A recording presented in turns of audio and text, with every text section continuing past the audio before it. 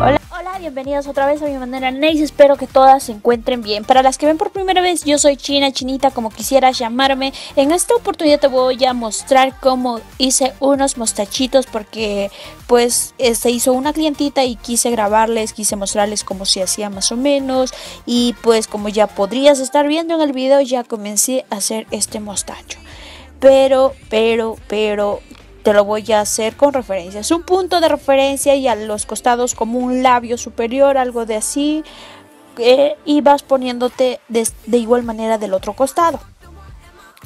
Imagínense que es un labio, pues engrosarle esa parte del medio o la mitad de un labio, porque no es un labio completo, vas poniendo de esta manera y vas engrosándole, vas engrosándole para que quede algo mostachito algo barbudito, por eso es mostachito creo. ok, de esta manera. Y, y va quedando así, así de gruesita. Nos va quedando el detallito del mostacho, de la barbita, no sé cómo lo llamen más. Y con un punzón, dos puntos. Me salió delgadita, puedes darle otra pasadita. Y con un pincel hace sus anteojos de esta manera y te va quedando así.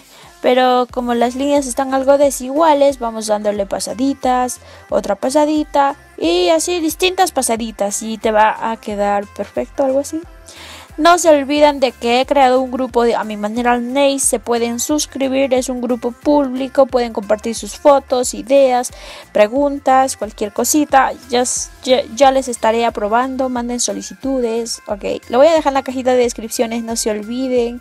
Pues bueno, así me quedo y espero que les guste. Hasta la próxima. Cuídense muchito. Bendiciones a todas ustedes que gracias a su apoyo. No se olviden suscribirse y activar la campanita de notificaciones para que no se pierdan ningún video mío. Y asimismo en Facebook pueden encontrarme y pongan ver primero para que no se pierdan ninguna noticia. Hasta la próxima, gracias.